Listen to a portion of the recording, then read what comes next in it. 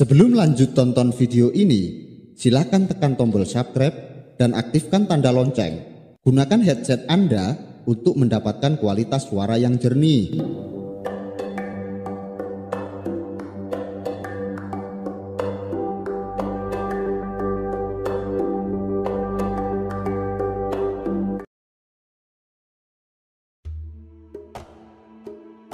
Tampak para awak jung dan para saudagar menyingkir. Dari kejauhan, dua orang tengah menghunus keris, mengepung satu orang yang juga tengah menghunus kerisnya. Makian dalam bahasa Jawa bersahut-sahutan. Dua orang yang tengah mengepung bergerak cepat menyerang orang yang sudah siap siaga. Kelakuan pejabat Majapahit. Desis salah satu petugas pelabuhan dengan nada yang tertahan. Mau tak mau, desisan ini terdengar juga oleh orang yang tengah berdiri di dekatnya. Perkelahian terjadi. Sabetan-sabetan keris tidaklah main-main. Salah sedikit, lengah sejenak, nyawa taruhannya. Para saudagar dan anak buah Jung segera menyingkir lebih ke pinggir daripada nanti terkena tikaman nyasar. Maaf, di sana tiba-tiba terdengar suara yang memecah ketegangan dua petugas pelabuhan itu. Suara dari sosok yang sejenak tadi berada bersama mereka dua petugas pelabuhan itu menoleh. Kenapa dibiarkan saja? Tidak adakah petugas kerajaan yang melerai mereka? Dua petugas pelabuhan itu menarik napas sejenak. Seolah tidak menghiraukan pertanyaannya. Kembali mereka memperhatikan perkelahian yang sedang terjadi. Ternyata sembari memperhatikan perkelahian. Salah satu petugas pelabuhan itu memberikan jawaban tanpa menoleh. Dua orang yang mengeroyok itu adalah bangsawan dari keraton Kahuripan. Mereka sering kali memalak para saudagar di pelabuhan Tandes ini. Selama ini, tak ada yang berani melawan mereka Maklum, kedudukan mereka sangat dihormati di kalangan kerajaan. Namun,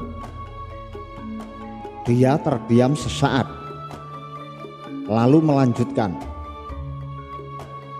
"Siapakah bangsawan yang dikeroyok itu?" Pertanyaannya ini lebih mirip pertanyaan bagi diri sendiri daripada memberikan sebuah penjelasan lima orang itu terdiam. Tiga orang yang mereka saksikan berkelahi habis-habisan. Sebentar lagi pasti ada mayat. Dengan luka menganga terkena sabetan atau tusukan keris. Tergeletak di pesisir pelabuhan Tandes. Pertarungan semakin menjadi-jadi. Sosok yang dikeroyok tampak sangat waspada karena tubuhnya menjadi incaran tikaman dan sabetan keris dua orang lawannya. Sekali dua kali keris mereka beradu dan menimbulkan bunyi benturan logam.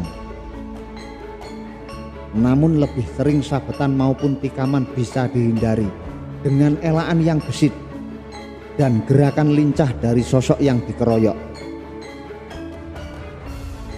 Bentakan disertai umpatan kerap terdengar medan tarung yang berpasir kini menjadi kacau balau.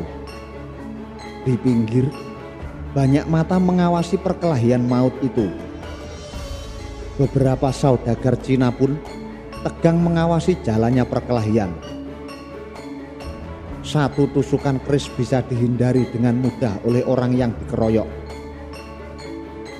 Dia mampu menghindar dengan memiringkan tubuhnya secara lincah dan gesit namun sabetan kini mengarah lehernya. Cepat dia menundukkan kepala, menghindari sabetan yang mengincar batang lehernya. Dengan tangkas, kini dia balas menyerang dengan memutar kerisnya. Serangannya mengarah ke dada salah seorang pengeroyoknya. Bunyi dentingan terdengar manakala tikaman berhasil dihalau dengan tangkisan keris. Namun tikaman yang dimentahkan itu disusul dengan dupaan kaki kanan yang mengarah ke dada. Terdengar bunyi kaki menjejak dada dengan telak, diiringi suara umpatan keras. Salah satu pengeroyok terjengkal ke atas pasir. Tubuhnya terjerembab ke belakang dan jatuh telentang. Beberapa orang yang berada di pinggir segera menyingkir ke belakang ketika tubuh itu terjajar mendekati mereka. Sedangkan di sana, sosok yang baru saja menjejakkan kaki ke dada lawan, tengah menyabetkan keris bertubi-tubi ke arah kepala lawan satunya. Semua sabetan berhasil ditangkis dengan keris oleh lawannya. Tikaman ke dada diarahkan, namun berhasil pula dihalau. Lalu dia mengarahkan sebuah sabetan ke arah paha. Kini sabetan itu mengenai sasaran. Paha yang tertutup kain sutra itu terkoyak dan darah segar segera menyembur dari sana. Terdengar geraman keras diselingi umpatan kasar dalam bahasa Jawa. Asu.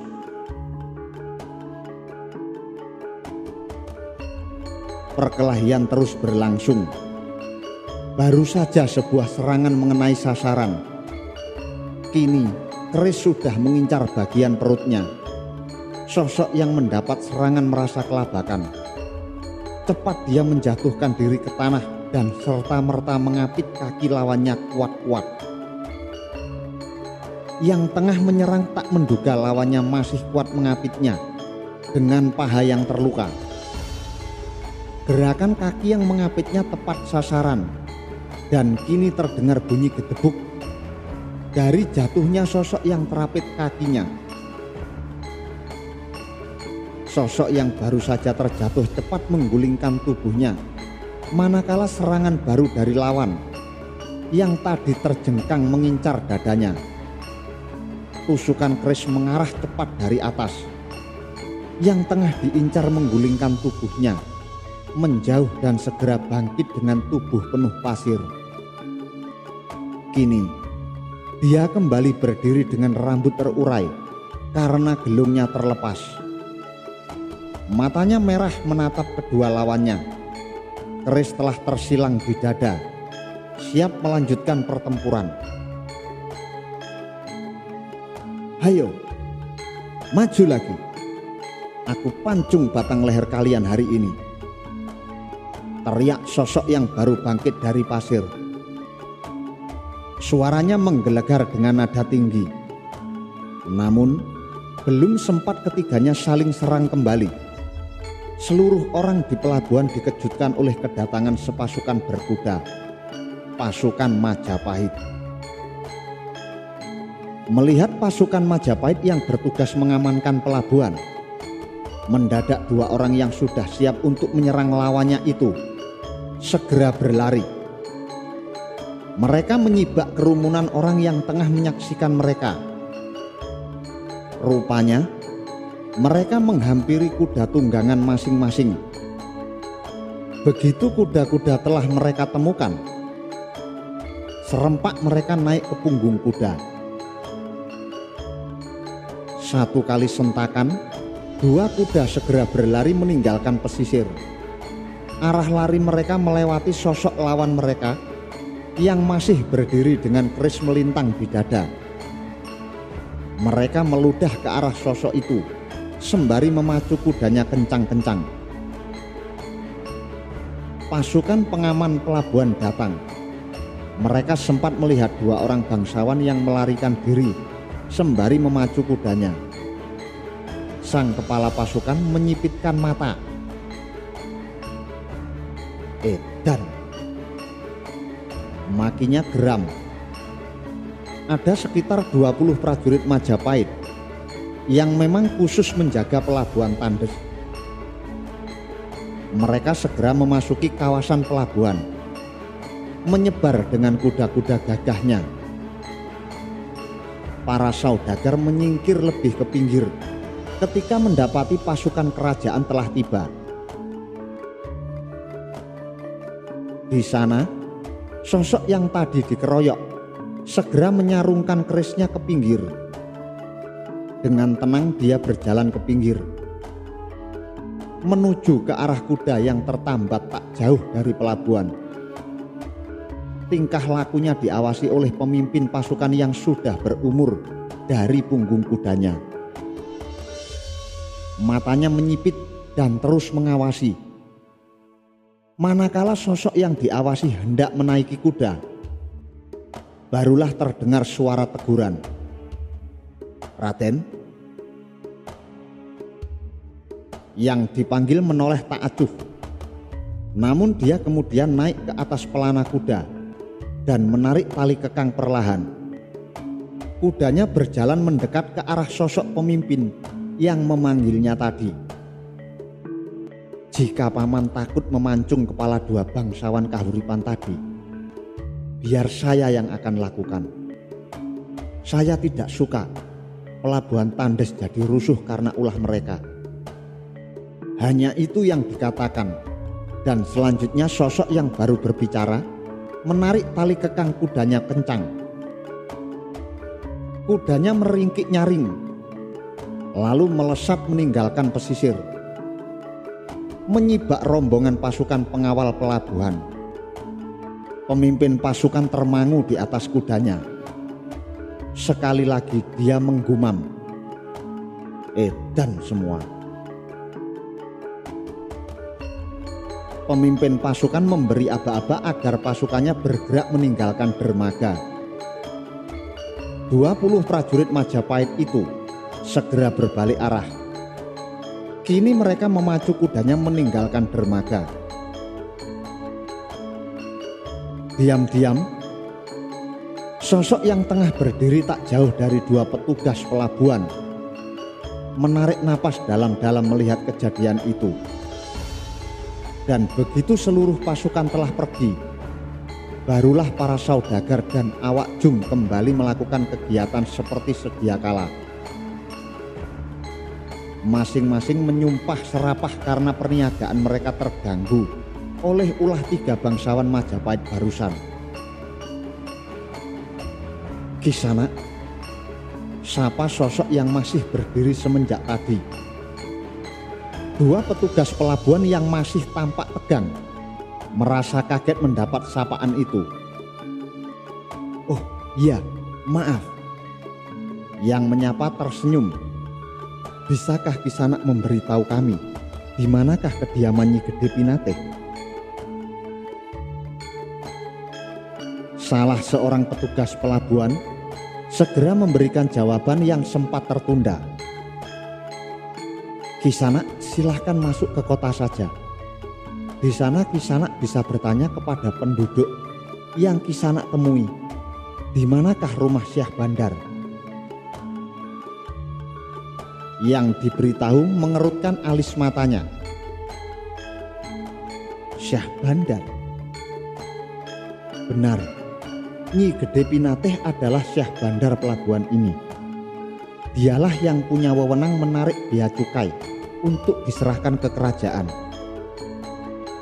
Sosok yang bersorban mengangguk kecil. Terima kasih atas petunjuknya di sana. Jawabnya sambil menangkupkan kedua tangannya, memberikan sembah hormat di depan dada. Assalamualaikum. Dua petugas pelabuhan itu membalas dengan sikap yang sama dan menjawab, Waalaikumsalam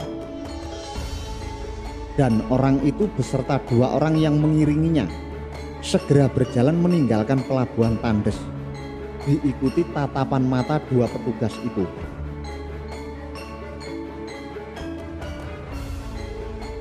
Kediaman Nyi Gede Pinate tidaklah terlalu jauh dari pelabuhan Tandes. tiga orang yang baru sampai dari pelabuhan segera bisa mengenali kediaman Syah Bandar setelah bertanya kepada penduduk sekitar yang kebetulan mereka temui. Kediamannya terbilang besar dan megah. Rumah bercorak Majapahit berdiri indah. Dikitari tembok batas dari batu bata besar yang mengelilingi bangunannya. Ada beberapa prajurit Majapahit, sekitar empat orang yang menjaga rumahnya. Mereka adalah prajurit yang memang bertugas untuk mengamankan kediaman Syah Bandar resmi kerajaan. Selebihnya, rumah itu dijaga oleh para centeng. Menilik dari perawakannya, para centeng ini adalah orang-orang Cina. Nyi Gede Pinatih adalah seorang janda. Suaminya, Mendiang Ki Ageng Semboja masih berdarah bangsawan Majapahit. Nyi Gede Pinateh sesungguhnya keturunan campuran Jawa Cina. Ayahnya adalah saudagar Cina Muslim yang dulu tinggal di Palembang bernama Syekh Cincing. Nyi Gede Pinateh lantas diambil istri oleh seorang bangsawan yang tinggal di Tandes. Bangsawan yang menjabat sebagai sah bandar pelabuhan. Begitu sah bandar Ki Ageng Semboja mangkat, kedudukan sah bandar dilimpahkan secara resmi kepada istrinya dan telah mendapat pengukuhan dari pusat kerajaan. Rumah yang bergaya Jawa itu tampak megah dibandingkan rumah-rumah yang ada di sekitarnya. Rumah yang terbilang istimewa karena rumah ini didiami oleh orang yang berkuasa atas pelabuhan Tandes. Tiga orang yang baru datang dari pelabuhan segera mengarahkan langkahnya menuju gerbang rumah.